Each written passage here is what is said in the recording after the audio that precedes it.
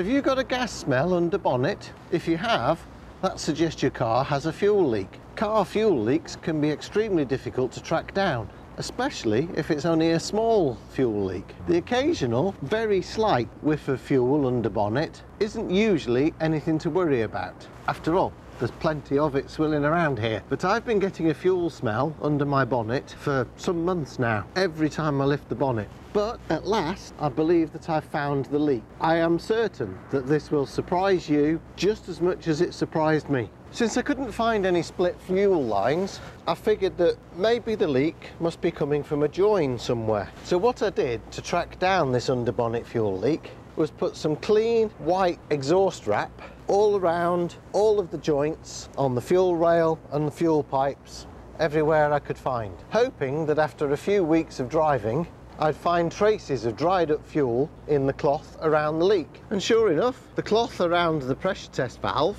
is all brown and stained with dried fuel residue. Simple you'd think, the valve's leaking. It still had me puzzled though. I swapped the valve out for a valve from one of the adapters in my fuel pressure test kit and I checked security of the valve and the security of the cap. Indeed, inside the cap there's actually an O-ring down in there that locates on the end of the valve and helps to seal it up. So even if the valve's leaking, it's got to get past the O-ring and then it's got to get past the threads. So I made sure that the inside here was dry, that the inside of the cap was dry, put it all back on. A few couple of weeks later, still getting the smell and it's still leaking. But the inside of here and the cap showed no signs of being wet at all, even with the engine still running at the end of a fairly long journey. Well anyway, the surprising bit, here it comes. I'm now convinced that the fuel leak is actually as a result of this joint and I'm absolutely convinced that that joint has got a pinprick leak. Here's a highly magnified view onto the uh, valve housing. Using a powerful magnifier and with the engine running, thus maintaining fuel pressure, I was actually able to see little spits of fuel coming out of this, what looks like a damaged area on top of the joint. Under the warmth of the engine, they were evaporating away almost instantly. The leak was slow, so it wasn't dripping. I can only conclude that this joint mustn't have been made properly in the first place when the pipe was new. Who knows? Knows how long this has been going on. So the obvious question next is what to do to fix it. Obvious you might think, replace the pipe. Well, this pipe goes from here, this joint, round the engine, down the back, and it joins into the main fuel line somewhere down in the depths there. Now you can buy this as a spare, but guess what? It's over a hundred quid. I mean, holy smokes obviously you can't just wrap a bit of PVC tape round it or a bit of duct tape. Well, you can get all sorts of fuel tank repair kits. And what it led me to thinking about was some of this metal epoxy putty. So I went onto the Bostik website. Their suggestion for uh, a fuel-proof leak was this product. So let's give it a try. So here we are a few days later. Sorry to have to report the attempted repair using the epoxy putty completely failed. So I'm going to revert to Old Faithful and use some Araldite steel. I've had considerable success in the past with ordinary uh, Araldite. I even once repaired a crack in a cylinder head on the rally car. It wasn't meant to be a permanent repair, but it did last two rallies. The Araldite that I tried failed also, so I tried a, a third method. I tried wrapping it in self-amalgamating tape. Some sources of information reckon that self-amalgamating tape is impervious to petrol, but uh, I found out that it's not. Just carried on leaking and the petrol actually dissolved the tape. So I'm cutting the valve section out of the pipe. As luck would have it, the pipe is exactly 10 millimeters outside diameter. So I've been able to buy myself some petrol hose that's 10 millimeters inside diameter and I'm cutting out the section that has the valve and I'm fitting a piece of hose between the two remaining pieces of pipe. It does mean that I will lose my pressure testing point, but in 150,000 miles so far I've never needed to test the fuel pressure. But if I do, all I'll do is cut the hose between two pipe and fit a brass T-piece and connect a pressure gauge that way.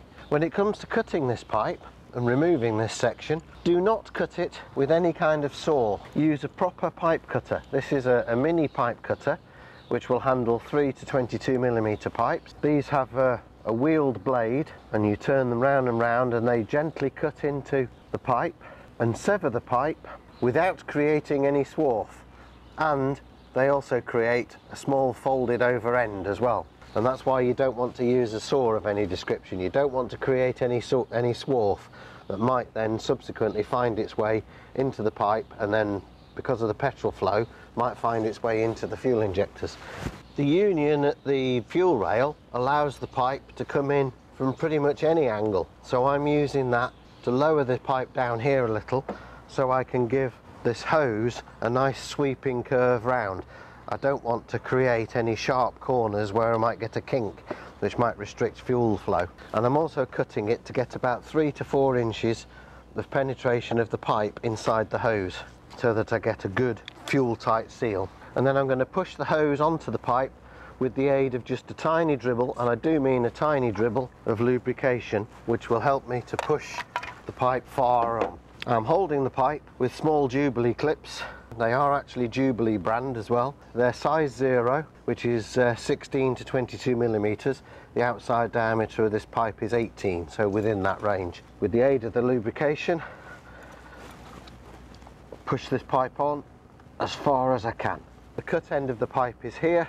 I've got about three and a half to four inches on there and then tighten down the Jubilee clips in two places I'm going to use a little bit of lube on the uh, on the thread there and just a little lube around the pipe just to help the uh, Jubilee clip slip on the hose and find its natural position and then just tighten it down enough that you can just just start to see it squeezing the hose don't go mad because we don't want the Jubilee clip to split the hose pipe the only downside with Jubilees is that they don't actually give an even clamp pressure all around the hose which is why I'm fitting two Jubilee clips and as you'll see fitting them with the uh, threaded portion on opposite sides of the hose.